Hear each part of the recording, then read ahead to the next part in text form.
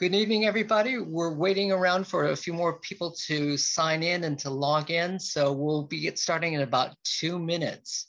In the meantime, I'm glad that you're here. We're going to be talking about, obviously, about Santa Barbara's Japantown, a topic that I, I know very few people who know much about it at all. And so we're really fortunate this evening to be able to show you this film.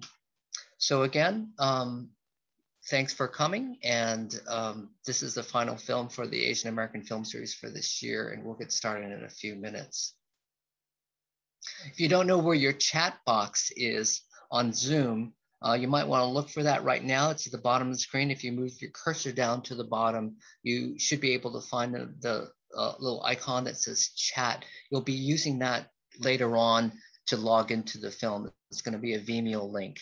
Um, we had some problems the first week, but I think uh, Kevin's tested it multiple times this week and we shouldn't have any problems. But if you do encounter any problems, please let us know and we'll help you get started with that as well. There, uh, we always want to encourage people to keep in mind the upcoming events that are happening at the Santa Barbara Trust for Historic Preservations. Um, the Santa Barbara Trust for Historic Preservation, most people associate with just the Presidio, the state park, the location itself, but it's much more than that. Um, in, in, addition to um, the museum and the exhibits there, we have events throughout the year. A lot of them, as you know, in the past year have been online events, and many of those have been recorded. So if you have missed something or just kind of curious about Santa Barbara history or about you know, uh, you just have some time and are interested in history, you can look at those, including some of the events that the Asian American Affinity Group did in May for uh, AAPI Heritage Months, and they're still there. Um, they also have a YouTube channel that you can check out. All right, Paul, this is Kevin here. Welcome everyone. Um, I think we can get started. We have we have 120 people already joined us tonight. Thank Yay. you so much for joining us.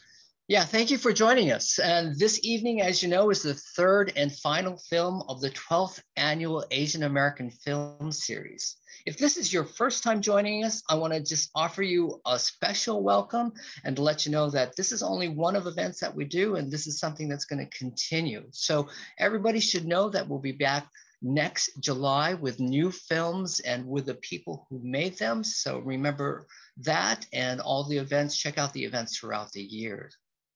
Our goal is to celebrate the rich history and heritage of the Asian American community here in Santa Barbara and beyond. Tonight, we're honored to present the world premiere of Sonzai, and later on we'll be joined by the filmmakers. This year's Asian American Film Series has been made possible by a grant from the George H. Griffiths and Olive J. Griffiths Charitable Foundation, who have been so generous in supporting so many of our events here at the Santa Barbara Trust for Historic Preservation. In a few minutes, as I perhaps already mentioned, after this introduction, we'll be providing you with a Vimeo link in the chat box in Zoom. After um, after you view the film, please return to the same Zoom link for a Q&A session with our special guest. Tonight, as you know, we're featuring Sonzai, a film by Barre Fong and researcher Koji Lau-Ozawa, which tells the story of literally the buried history of Santa Barbara's very own Japantown, or Nihon Machi. We're so lucky to have them with us. So again, please stick around after the film. I'm Paul Mori. I'm a committee member of the Santa Barbara Trust for Historic Preservation's Asian Americans Affinity Group. This group is made up of local AAPI community members who volunteer their time to help plan and organize events like our annual Summer Asian American Film Series, our Fall Asian American Neighborhood Festival, as well as various events during the year. If you missed our three online events celebrating AAPI Heritage Month this past May, you still can visit, you still can view them online at the Santa Barbara Trust for Historic Preservation's website. Look under lectures and you'll find it there. We'll also be providing that link later on in the program. In addition to those, you'll find some other lectures that are, are um, that have been held over the year. I am sorry to announce that this evening our committee is mourning the loss of Kay Van Horn. She was our longest serving member. She was actually a founding member of everything that the Asian American Committee has been doing. And she was a volunteer for over 30 years.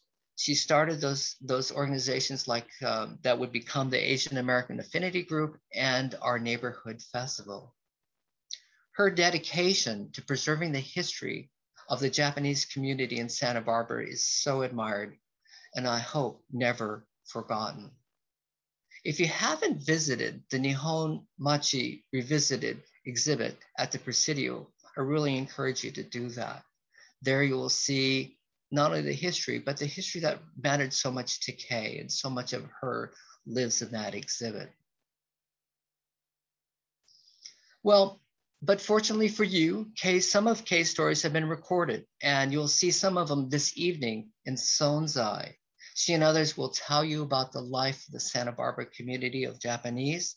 Um, some of you also might know Roki Fukumura, who is in the audience this evening, I hope, and uh, and you will see him. You might know him from Tri County Produce. If you don't know anything about Santa Barbara, Japantown, you're not alone. Plenty of us, few of us actually know anything about it. And Sonzai will hopefully give you a better idea of what that was. But before the Japanese lived in this area around the Presidio and the Chinese, before them was the Mexican and the Spanish. But there were the original inhabitants, the Chumash. And we at the Santa Barbara Trust for Historic Preservation would like to take a moment to honor these ancestral grounds that we all are collectively gathered upon and support the resilience that all indigenous peoples have shown worldwide. We are in the traditional territory of the Chumash peoples. Okay, I think we're ready. The film runs about 33 minutes. So at the film's conclusion, again, rejoin this Zoom session and you'll meet Koji and Barre, and they'll tell you more about this bit of hidden Santa Barbara history. So right now, check your chat box. And if you have any problems, like I mentioned before, Kevin and I will be here to help you out. So enjoy the film and we'll see you at 645. Okay, everyone. I want to welcome everyone back. This is Kevin from the Trust. I'm behind the scenes here doing the, the tech work. Um, I put this in the chat. A lot of people had, had trouble with the volume. Vimeo's a little different than YouTube where the volume control is. So you can always go back after this uh, this uh, Q&A session, this conversation with the filmmakers and try to watch the film again without the pressure of doing it under time constraints. So uh, the link should be live. Um, maybe they'll keep it up for the rest of the week, and I'll let them decide and let you know. But um, you can try revisiting and rewatching the film if you had trouble. It's not. It's not. Um, it's more important that you get to hear from the filmmakers now. So I'm going to let Paul take it away. Um, again, if you had any issues, you can email me Kevin at sbthp.org. I'll put it in the chat um, if you need some help. Um, I can help you tonight, but otherwise, just try again later. Well, welcome back, and here's your chance to learn more about the film and Santa Barbara's Nihon Machi. I'm sure you have questions, and you have the opportunity to hear directly from the makers of the film.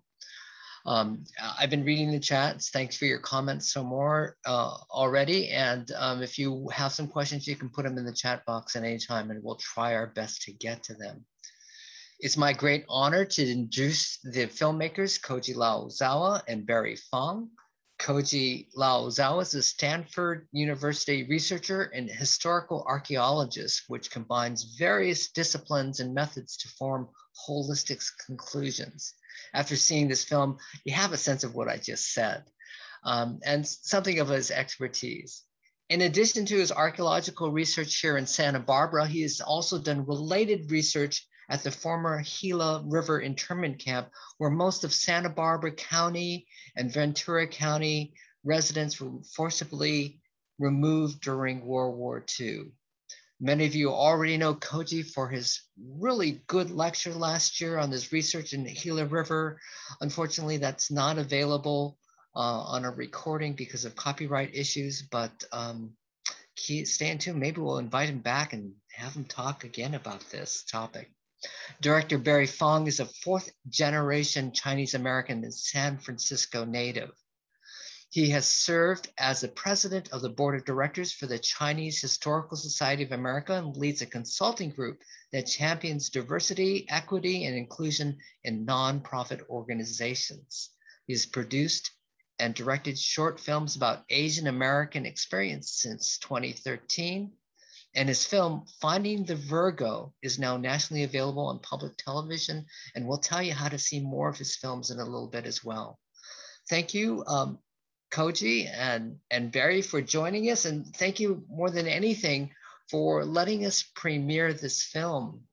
Um, let's just start with a, there was a question in the uh, chat, they were kind of confused about the title. So can you tell us a little bit about what Sonzai means and how you arrived as your choice of a title of this film?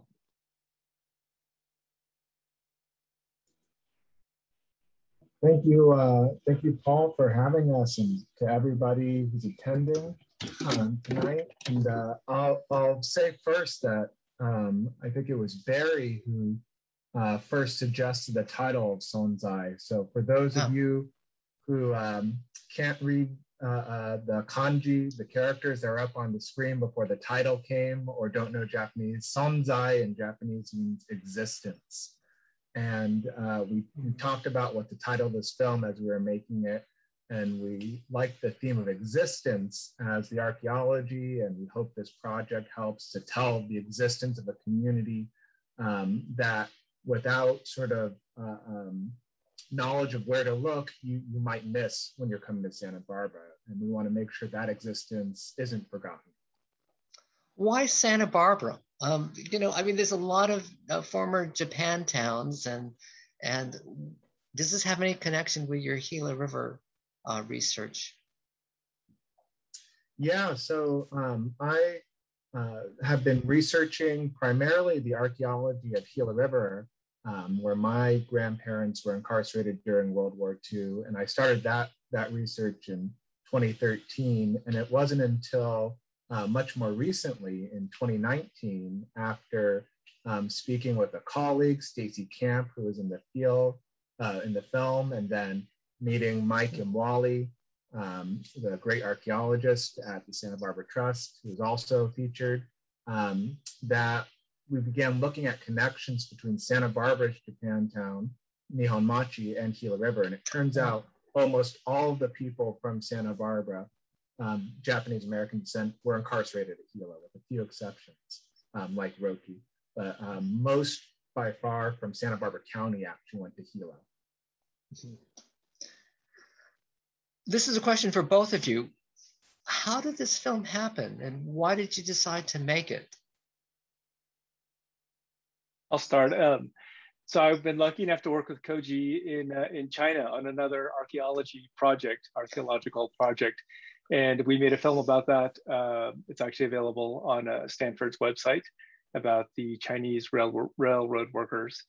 Um, and, and so I think, you know, Koji was doing this great research and he, he came to me and said, "There's an opportunity to record what we are doing down here," and I was able to pop down there for a couple days the first time and, and record some interviews and record some of the work in the lab. It would be great if you would give that information so our viewers might have a chance to look that up and find it. So maybe when you have a second, write it down in the chat or give us directions and maybe we can get that information to everybody. Will do. Uh, Barre, what's your connection with Japan towns? Is there any connection between Japantowns in California and the Chinese, um, the Chinatowns in California? Yeah, so I am, uh, you know, uh, descended up from a, a, Chinese immigrant family, and um, and I think the histories between the Chinese and Japanese in, in America has a lot of parallels, and so I am most interested uh, in terms of filmmaking in uh, in erased and ignored history. And I think a lot of Chinatowns were erased, and I think a lot of mm-hmm. Japantowns were erased in this country. So um, that's been my my area of interest. Koji, let's let's talk a little bit about Kay. I mean, we're all kind of sad that Kay is gone now, and I'm sure every a lot of people who knew her personally have mixed feelings seeing this this film this evening. Can you talk a little about the interview process and your relationship and talking to her and interviewing her? Yeah, so I first met Kay when I came down um, to give a talk at the Santa Barbara Trust in, in January of 2019. Um, and we had spoken via email before then. And she was just uh, so helpful and generous with her time and with introducing to many of the Japanese American community, many members of the Japanese American community, um, and the Nihonmachi community in Santa Barbara. She um, she took Barre and I out to lunch when we came down to, to do the interviews, and she introduced us to people. And she was just such a, a force to be reckoned with, and it was it was just such a pleasure to work with her, and heartbreaking this year to to lose her.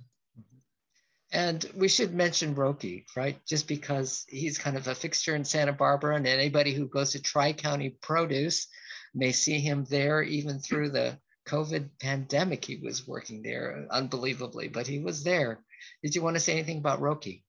Yeah, talk about another force to be reckoned with. Uh, Roki was just, um, for those of you who don't know, as, as Paul mentioned, um, I won't I won't tell Roki's age on on air but uh, he he was obviously um, in Santa Barbara before the war at camp and working to this day. And his stories and um, his generosity with sharing with us really helped put together a lot of this film. And so we were we were so lucky to have him. And and um, I spoke to him earlier today, and I think he's watching. So um, hi, Roki, and uh, you know it was really just a pleasure to to interview for this process.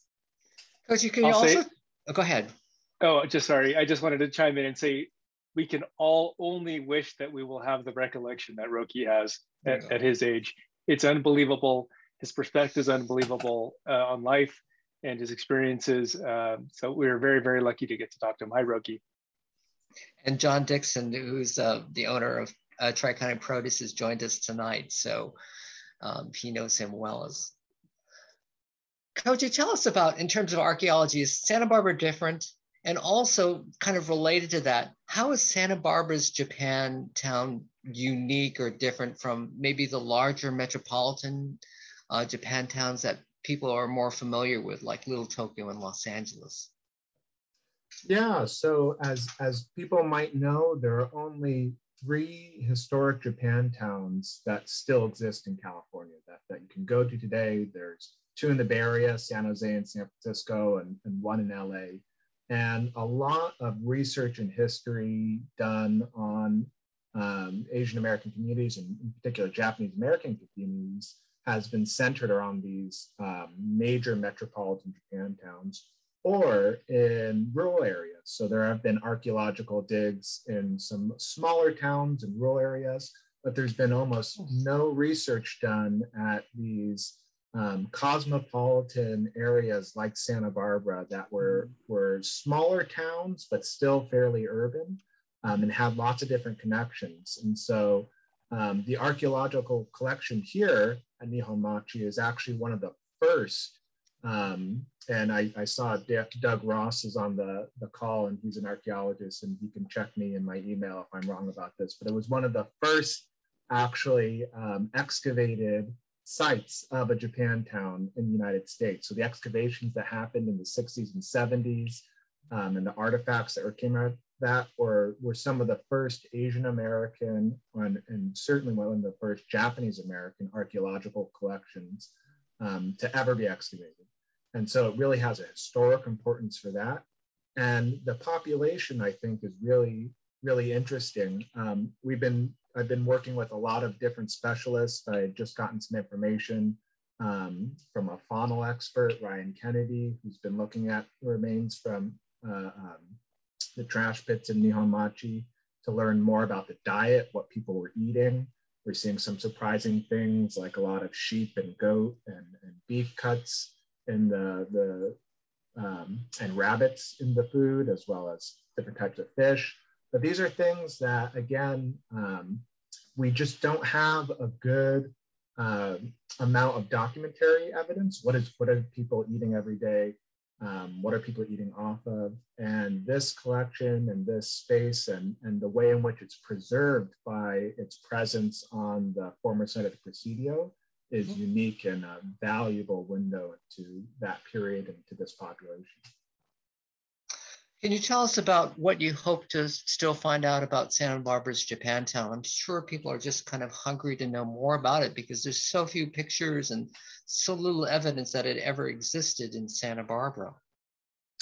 Yeah, so we're the, the research is ongoing. So I am uh, I'm I've been looking at some of these materials um, that were excavated in 2009 and some that were excavated in, in the 1970s. And my colleague Stacey Camp has also been working on this material, but there's more material that we're hoping to expand our analysis of mm-hmm. and um, looking at both the um, those types of objects that we see in the film, but I think it's remarkable. There are things like medicine bottles in the collection um, that were available both in Santa Barbara, but I found, um, for instance, archival records showing that the same medicines are being purchased in Brazil, in wow. Japan, in Korea, all across the Japanese diaspora. But then there are also medicines from State Street Pharmacy, um, so right next door. Uh, wow.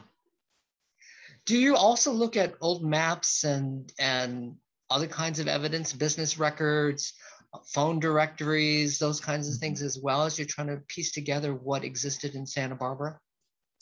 Yeah, I've been looking at, uh, in addition to the archaeology and these oral histories, um, the historic Sanborn insurance maps, um, both uh, newspaper directories from Santa Barbara, but also from the Rafu Shimpo, um, which is a Los Angeles based newspaper that had directories um, for instance, in 1940, um, the Rafu Shimpo um, directory shows that there, in that one block, there are at least 25 to 40 um, people living there on that one half of that one block, in addition to two grocery stores, a barber shop, mm-hmm. um, the churches, uh, Young Men and Women's Buddhist Association, three uh, Japanese associations, all sorts of schools, an employment office. I mean, you know a really packed amount that we can see through through these directories.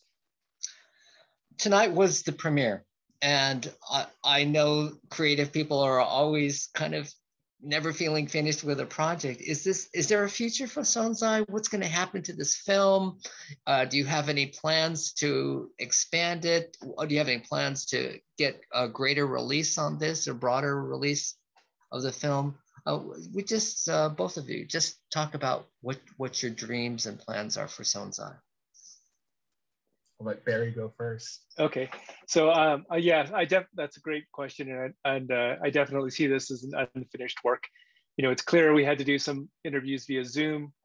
Uh, there were you know dozens and dozens of families here, and we have only a few interviews, and we'd love to hear more from more people.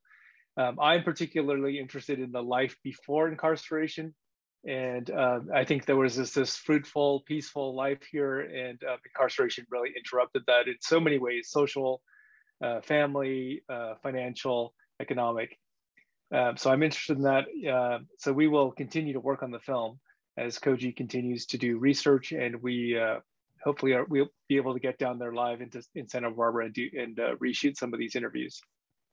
So there's a question here. I, it's hard for me to follow all the questions, but there was a uh, question of what years did this community exist?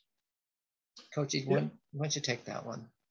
So the first, um, the really first Japanese um, coming into Santa Barbara arrived at pretty much the turn of the century, 1900. But on Canon Perdido, we see a series of boarding houses open up in 1906 and 1907. Well, and then early. take off um, in the 1920s. It really starts to hit its larger critical mass in the 1920s up until basically 1942 with the incarceration. In the years after the war, um, some families return. Uh, we've had some stories that uh, we weren't able to, to put into this film, but we hope to include in, the, in, in our next iteration of Sonzai about how people returned after the war, um, briefly stayed in the churches. Some kept uh, valuable possessions um, that that they had to come back and and get before they moved somewhere else. But really, the 1950s, we see the community begin to disperse and and never recover from that incarceration. Yeah, there's a lot of stories still to be told, I'm sure, and and we're always limited by time, including this Q and A. But I want to give Barre a chance to tell us about what's in the works for you. What projects are you working on, and um, also tell us about your Vimeo showcase link where people can see some of the films that you've created. Sure. Uh, so as you mentioned earlier, uh, the film I made in 2019 called Finding the Virgo is now on public television. So if you're uh, you don't want to see it, you'd like to see it in your community, call your public TV station. It's available to them. They can play it anytime at, at no charge. Mm-hmm. Um, I'm working, that film happens to be about a Vietnamese boat refugee who, uh, whose family made it to California and she spent, the daughter spent most of her adult life looking for the captain and the crew of the ship that oh. saved them. The ah. ship was called the Virgo. I'm getting um, goosebumps. At, yeah, you can look at findingthevirgo.com if you want to see a trailer. And um, that's available also for purchase, I believe, on your Vimeo showcase. Is that correct? Correct. Yes, correct. And the, uh, the showcase also has a collection of films I've been doing over the past almost 10 years, I guess, um, about uh, San Francisco Chinatown, Angel Island, various characters and personalities uh, in the Asian uh, American community. And if I'm also working on it. Go ahead, Paul. Um, uh, if memory serves, uh, did Finding the Virgo win an award or had some recognition yeah. for it? Yeah, I Tell think our, our uh, so in 2019, before the shut before the pandemic, we traveled all over the world actually screening the film, and I think our most notable award was the CAAMFest, which is the biggest Asian American film festival in the country in the world uh, here in San Francisco. So we won the Audience Choice Award wow. against some really high budget high big name films. Uh, so we're very very proud of that. People who make documentaries never have enough money, do they? Correct. if anyone's out there with a checkbook, uh, you know, we're open. Our arms um, are open. And and um, I want to mention that this film, the Sonzai that everyone saw this evening, was sponsored by UCLA's Asian American Studies Center and the Aratani Care Award. And is that related to the Aratani Theater down in Los Angeles? I, I assume that's the same family, but I'm, I'm not sure. Yeah, so the, the um, Aratani Care Award is from George and Sakaye Aratani and through UCLA. And I believe George Aratani is actually from Santa Barbara County. Um, wow. And uh, was in, uh, I want to say Guadalupe before the war. Um, but they're a, a, huge contributor and um, were really instrumental to uh, supporting this film and getting it up off the ground. I'm sure people want to know more about Santa Barbara's Japantown. Do you have any advice for them? I uh, compiled a short list of some online sources, but they're, they're you know they're minimal, and hopefully Kevin's going to be able to get that to everybody. Um, and Kevin, if, after after we get the answer here, are there any questions that I've missed here that I need to ask? Uh, I'll, I'll look through the questions for you, Paul. I just put put in the chat your um, your Google document. It should be accessible by everyone um, for some links uh, for people to look more into Japanese American history. Um, but I think you you did a good job of, of surveying the questions. But I'll take a look for you. So, Koji, you want to yeah, so this is um, this is part of what inspires Barre I to work is that there's so little information out about Santa Barbara Japantown. You know, there are a few doctoral dissertations and projects that have discussed it. There are archives um, both locally in Santa Barbara, um, but also at UCLA that people can look at. But it's really frustrating that there's not more information. Of course, the Nihon Machi exhibit at the Presidio Trust, which I um, I think is open now. The Presidio has reopened. yes, it is month. open. Um, yeah. Is a great place to start looking at these resources and seeing some more of the artifacts and history and photographs from the community. And you know, I hope that um, this is just the first step in expanding um, that knowledge and producing more information for people to find out about this historic event. Fantastic. Are there any final thoughts that Barre you want to share? Oh yeah, so I, I noticed that there were some people that had trouble with the volume. Um, I'll look at that, but um, I will leave the link up for the next two weeks. Um, oh, so your audience is free to go back and watch it and try to adjust their volume on the computer. It seems like most people had were able to do it, so uh, I don't think it's a problem with the file. I want to acknowledge again our film series sponsor, the George H. Griffith and Olive J. Griffiths Foundation for their generous support of the Asian American film series. I also want to, you're only seeing me this evening, but behind me is a whole committee, this Asian American Affinity Group that I've mentioned, and they're all wonderful people. Um, and they all volunteer their time, and um, I want to acknowledge them as well. You have seen several of them on the previous two weeks' films, but um, we're, we're working in the background. We're going to continue to bring you programs, so keep us in mind. And um, I think that's it. And so we're at the end of July, and the this concludes our 12th annual Asian American Film Series at the Santa Barbara Trust for Historic Preservation. Oh, and I've got to thank Kevin McGarry for all his help this evening. I couldn't have done this without him. And um, anyways, look for us um, next July when we'll bring you more great films and and keep looking at the website for stuff that that we're going to be doing throughout the year. So again, thanks for watching and thank you Koji and thank you Barre. We're so delighted that we're able to show your film and thank you for your time in answering our questions. So thank you very much and that's the end of the session. Thank you everybody. Thank you everybody.